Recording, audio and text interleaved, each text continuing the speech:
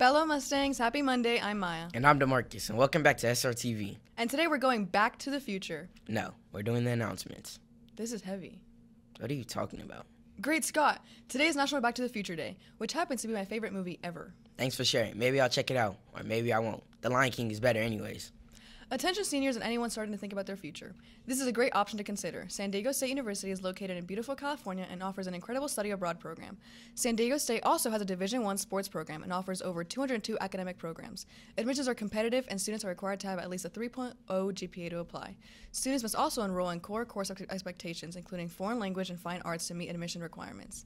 If you are interested in learning more about this incredible university, check out the corner calendar. SDSU will be on campus Thursday at 8:30 a.m. Be sure to sign up in person in the corner corner or online. I love the beach and I love school. SDSU sounds like a dream.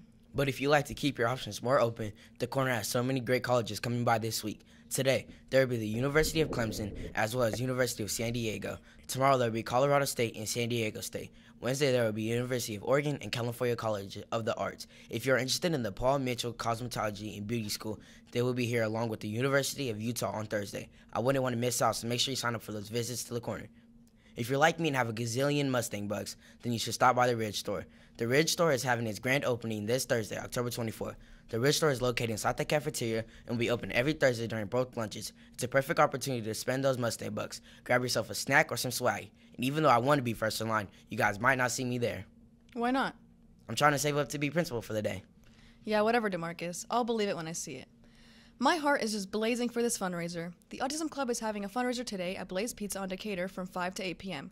Just let them know you're there for the fundraiser or show the picture of the flyer from the QR code. Want to hear a funny joke? What is it, Maya? Never mind, it's too cheesy.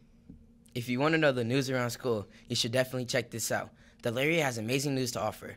Drone soccer is gaining popularity. The Halloween Blood Drive invites donations. The Booze and Choose fundraiser promises a fun evening. And Trader Joe's has a must have tote bag. Stay engaged with these community events. You might just want to work harder so your name could be on the Laria too. There are some scrumptious items on the menu this time around. Today we were having pepperoni and vegetarian pizza, cheeseburger, hamburger, and a turkey hoagie. The student store will have Chick fil A. Tomorrow there will be walking tacos, mini corn dogs, bean and cheese burrito, and a turkey sandwich. The student store will have Makai Island Grill. Be afraid when you see me in the lunchroom. I'll be scared the day there's nothing in the student store. Well, that concludes today's announcements. Don't forget to succeed and excel. And thank you so much for watching.